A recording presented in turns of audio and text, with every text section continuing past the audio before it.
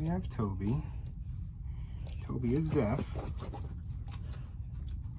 Unfortunately, there was a bite incident in the home where he was sound asleep and he was startled. Quick bite and release. But regardless, he does have a bite history. Uh, he does do well with other dogs and little dogs from what the previous owner mentioned. Does respond to hand signals like when you call him over.